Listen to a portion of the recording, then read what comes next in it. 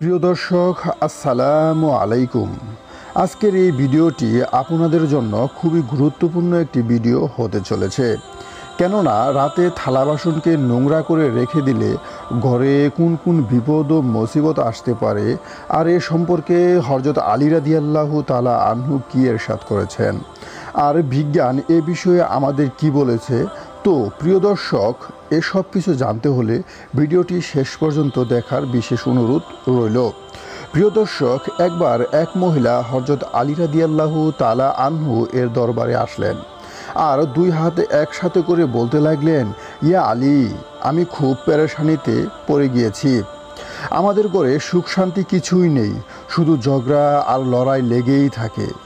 আমাদের ঘর থেকে বরকত উঠে গিয়েছে আর চারদিকে পেরেশানি আর পেরেশানি দেখা গিয়েছে। আমার মনে হয় আল্লাহ রাব্বুল আলমিন আমাদেরকে ভুলে গিয়েছেন। একথা শুনে হরজত আলী রাদিয়াল্লাহু তালা আনহু বললেন, হে মহিলা, তুমি তোমার ঘরে রাতের খাবারের পর থালা বাসনগুলো না পরিষ্কার করে শুয়ে পড়ো না তো। তখন সেই মহিলা বলতে লাগল, ইয়া আলী, আমরা খাবারের পর তো সেই বাসনগুলো সেই অবস্থায় রেখে দেই।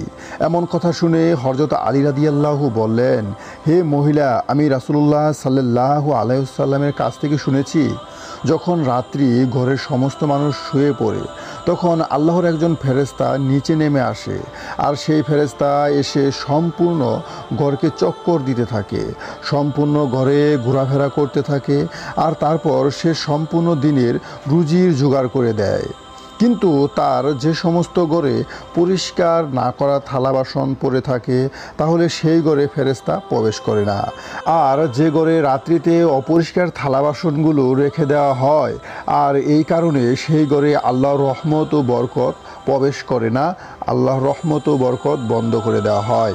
হে মহিলা, যদি তুমি চাও তোমার ঘরে পুনরায় সুখ শান্তি চলে আসুক, তাহলে রাত্রি খাবার খাওয়ার পর থালা বাসন পরিষ্কার না রেখে দিবে না।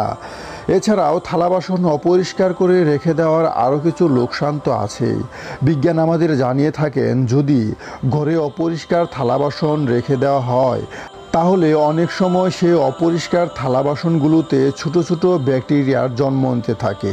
এরপর সারা রাত্রিতে সেই ব্যাকটেরিয়া বৃদ্ধি পেতে থাকে আর তা সারা ঘরে ছড়িয়ে পড়ে। আর এর কারণে অনেক ধরনের রোগ জীবাণু বৃদ্ধি পেতে থাকে এবং মানুষের শরীরে প্রবেশ করতে থাকে। আর বিজ্ঞানিকভাবে দেখা যায়, রাত্রিবেলা অপরিষ্কার অবস্থায় থালা বাসন রাখা খুবই লোকসান হয়ে যায়।